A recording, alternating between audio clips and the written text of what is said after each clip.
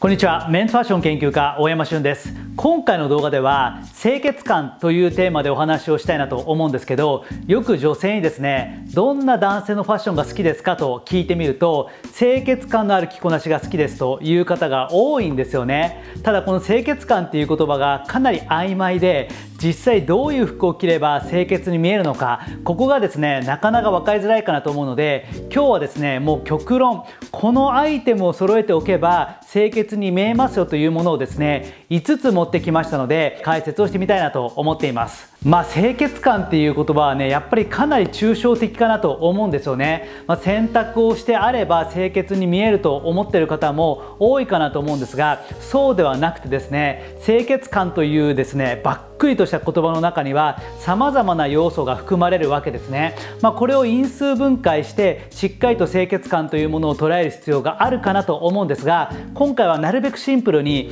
アイテムごとにですねお伝えすることで皆さんに最速で清潔感というものについて理解を深めていただきたいなと思っています。こちらのチャンネルでは主に大人の男性に向けてメンズファッションの基本を分かりやすく解説してますのでよかったらチャンネル登録の方もよろしくお願いします。まあ、早速ですね具体的なアイテムに入る前に少しだけ清潔感の外堀をですね確認をしてみたいなと思うんですが清潔に見えるファッションっていうのはどういうものだろうということを考えた時にいくつかのテーマが浮かび上がってくるんですね。まず1つ目に理解しておきたいのはアイテムの特徴なんですね、まあ、ファッションアイテムには様々なものがあるんですが大きく分けるとよく言うですねきれいめとカジュアル。この2つに分類することができるかなと思っています、まあ、極端な例を出すとスーツというもの。これはですねきれいめの代表格みたいなものかなと思っています。一方でカジュアルの代表格というのは部屋着のようなスウェットの上下をイメージしてもらうと分かりやすいかなと思っています。他には代表的なものだとジーンズだとかチノパンだったらカジュアル。あとはニットだとかシャツだとかこういったものはきれいめとか。このようにですねそれぞれのアイテムに特性みたいなものがあるんですね。ではこのきれいめとカジュアルどちらの方が清潔感が漂いやすいかというとこれはもう皆さんもわかるかなと思うんですが前者のきれいめの方が清潔感が漂いやすいかなと思っています、まあ、やっぱり部屋着のような少しサイズ感がゆったりとしていて色はグレーでしかもですねカジュアル感満載の着こなしというのはどうしてもですね清潔感が漂わなくてだらしないという印象になりやすいんですね。一方でスーツのようなカチッとしたお洋服というのは清潔感も漂いやすいんですね。ですのでこの清潔感というところを考えるときれいめとカジュアルで言ったらややきれいめに寄せた方が清潔感が漂いやすいということ。まずここは理解しておくといいかなと思っています。そして2つ目の項項目なんですが色というのも結構重要なんですね。清潔に見える色とあまり清潔に見えない色というのがありましてじゃあ具体的にどういうものが清潔に見えるのかというと例えばネイビーですとかホワイトあとはブラックこのようなはっきりとした色というのは結構清潔に見えやすいかなと思っています。一方で清潔に見えづらい色というのもあって例えばブラウンですとかカーキのような少しやぼったさが漂うような色こういったものはですねなかなか清潔感というものが漂いにくいんですね。これがまた難しいところなんですがこのやぼったさが漂うブラウンとかカーキという色が今はどちらかというとトレンド的なカラーなんですね。ですのでこういったものを積極的に着こなしに取り込もうとする方も多いかなと思うんですがそれをしちゃうと清潔感っていうものが漂わない場合があったりするんですね。ですのでバランスが大切です。カーキだとかブラウンを使う場合には他のアイテムにブラックですとかホワイトですとかネイビーを混ぜてあげるとバランスが取りやすいかなと思っています、まあ、このように色にもですね清潔感が漂いやすいものとなかなかやぼったく見えてしまうもの2つがあるということこれも理解しておくと良いかなと思っています。そして3点目はですね服の鮮度ですね。これもめちゃくちゃ重要でもう当たり前なんですけども新しい服には清潔感が漂って古い服にはですねやっぱり清潔潔感みたいなものはなかなか漂わないんですね。ですのでどんなに高い服であっても5年以上例えば10年以上着たものだとやっぱりそこには清潔感みたいなものが漂わないんですね。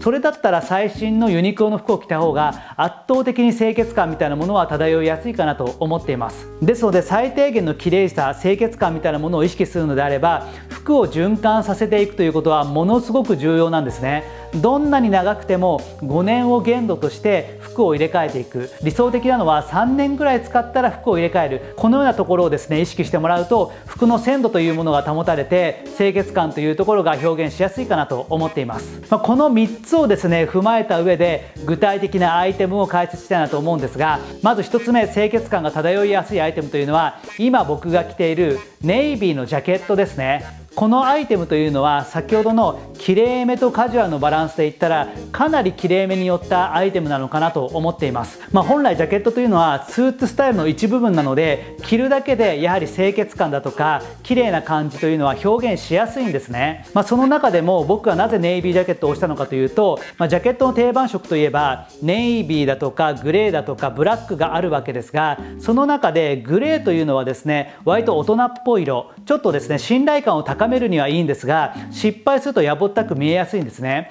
その点ブルー系というのは清潔感が漂いやすいのでジャケットの中ではネイビーがまず間違いがないかなと思っています。まあブラックも悪くはないんですがやはりネイビーの方が少し柔らかみみたいなものが出せますので同じ濃い色の中でも少し好感度が高いのはネイビー系なのかなと思っています。なかなかカジュアル着としてジャケットを着るという習慣がない方もいらっしゃるかなと思うんですがいつものカジュアルな着こなしの中に1点こういったものがあるだけで清潔感というものは確かに漂いやすいかなと思っています。ちょっと人と会うだとかデートに行くだとかいいところに食事に行くだとかそういう時にこそジャケットというものが1着あるとすごく便利なので是非皆さんも清潔感というものを象徴するアイテムとしてネイビージャケットを覚えておいていただきたいなと思っています。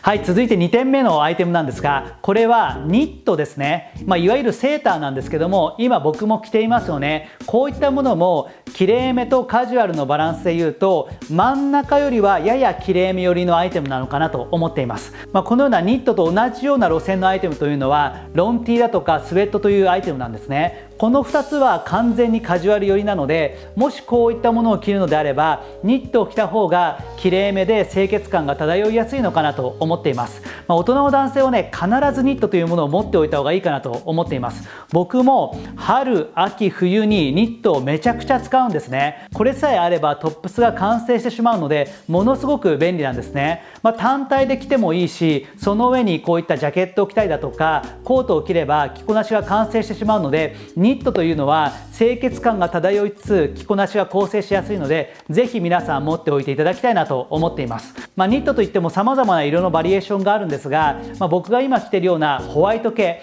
これがですね一番清潔感が漂いやすいかなと思っています、まあ、先ほど色によっても清潔感って全然見え方が変わるという話をしたかなと思うんですがその中でも白というのはもう最強なんですね。一番清潔感が漂いやすい色なのでニットにおいては白というものをぜひ持っておいていただきたいなと思っています。あとはですね今ご用意しているようなこういったネイビー系のニットだとか濃い系のものもですね1着持っておくと便利なのかなと思っています、まあ、ニットに関してもですね専門の動画をいくつか用意してますのでそちらでぜひチェックしていただきたいなと思うんですが厚みによってもまた印象が変わったりするのでぜひ様々な種類のニットを揃えていただきたいなと思っています。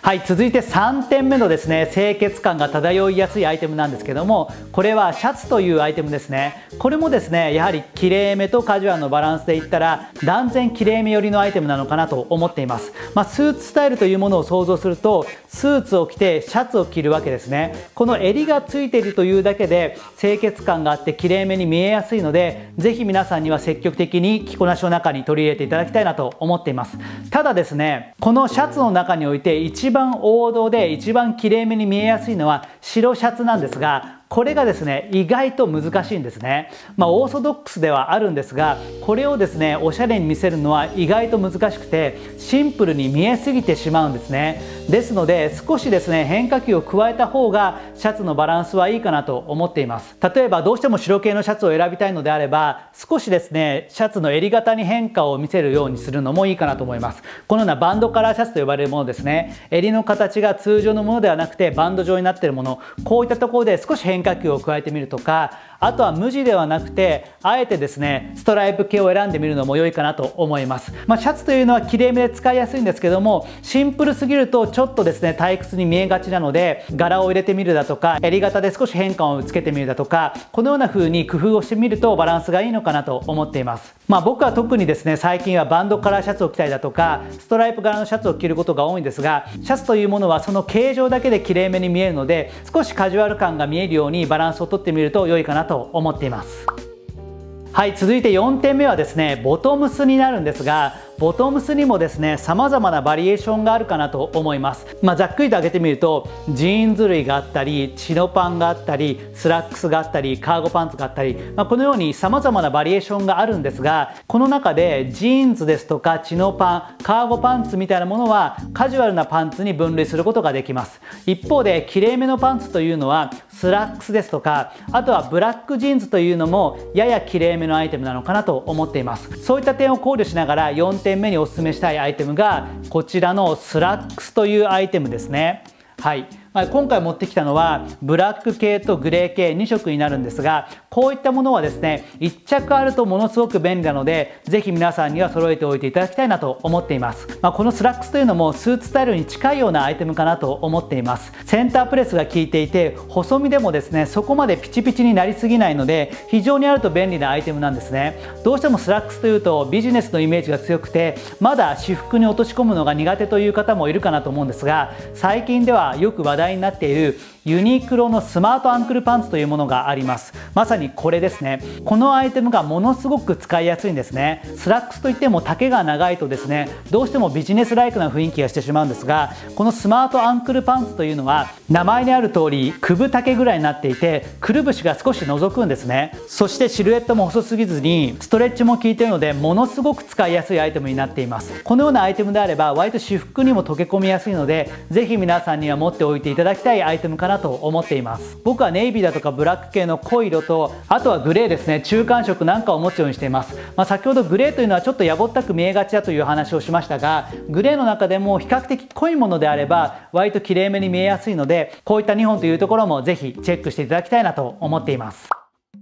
はいそして最後5点目にご紹介するのは靴ですね。これはですね白のレザースニーカーが清潔感が漂いやすいアイテムかなと思っています、まあ、綺麗めというところで最高峰のものというのはブラックのレザーシューズもう本当に革靴ですよね。そういったものがきれいめに見えやすくはあるんですがそういったものを履いてしまうとやはりですねカジュアル感というところがなかなか表現できないので黒の革靴の代わりに少しカジュアル感がありつつもきれいめに見えやすい靴としてこのような白レザースニーカーを持ってきてみました。スニーカーという本来はカジュアルなアイテムの中にも実はきれいめとカジュアルめのものがあったりするんですね。中でもこのようなレザースニーカーというのはかなりきれいめな部類に属するかなと思います。一方で結構カジュアルなものはいわゆるランニングシューズのようなデザインもですねちょっと凝っていて色も多数使ってあるもの。こういったものというのはかなりカジュアルかなと思っています、まあ、このような白系のレザースニーカーであれば白という清潔感も漂いますしレザーという素材の効果もあって一定の綺麗さというところも表現しやすいので清潔感というところが表現しやすいかなと思っています、まあ、先ほどご紹介したスラックスに合わせてもいいかなと思いますし意外とジャケットとの相性も良かったりするので様々な着こなしにも使いやすいという点でこれはですねものすごく使い勝手がいいアイテムかなと思っています。ただ白レザースニーカーというのは白いことに意義があってこれがですねくたびれたりだとか汚れたりすると一気に清潔感というところが損なわれてしまうので定期的な手入れというところはかなり大切になるかなと思っています。まあ、白レザースニーカーのお手入れの方法についても別の動画でご用意をしていますのでよかったらそちらも参考にしていただければなと思っています。はいということで今回の動画では清潔感が漂いやすいアイテムをですね5つご紹介させていただきました。ざっくりと振り返ると1つ目がネイビージャケット2つ目が丸首のニットですね。これは白だとかネイビーブラック系を揃えておくといいかなと思っています。で3点目がシャツですね。これはストライプだとかバンドカラーシャツだとか少しど定番の白シャツからずらしてあげると良いかなと思っています。そして4点目がスラックスブラックネイビー系かもしくはグレー系があると便利かなと思います。そして5点目が白レザー。ザースニーカーですね。この辺りがあれば間違いなく清潔感が漂いやすいかなと思っています。ただですね一つ注意すべきなのはこれらのアイテムを全て使ってコーディネートを構成するとちょっとですね真面目になりすぎてしまうんですね。綺麗めに寄りすぎて仕事着っぽく見えてしまうので全身の中に1点から3点ぐらい混ぜてあげるとバランスがいいのかなと思っています。カジュアルなアイテムが決して NG というわけではないんですね。僕の今日の着こなしを見ていただきたいなと思うんですけども僕が履いてるのはグレー系のデニムなんですね。これはまさにカジュアルなアイテムかなと思っています。上半身はネイビーのジャケットと白のニットというですねまさに今日ご紹介したきれいめなアイテムなんですがこれに対して黒のスラックスを合わせてしまうと悪くはないです。ただビジネスカジュアルっぽくなってしまうのでそこはジーンズのようなカジュアルなものを混ぜてあげることで少しですね全身のバランスを整えてあげると良いかなと思っています。きれいめで清潔感というのは大切なんですがそちらに寄りすぎないようにカジュアルなものも混ぜながら着こなしを構成していただければきっとですね大人の男性に似合いやすい清潔感の漂うスタイルというものが完成しやすいかなと思いますので是非頭の片隅に置いていただければなと思っています。以上スタイリストの M シュンでした。よかったらチャンネル登録の方もよろしくお願いします。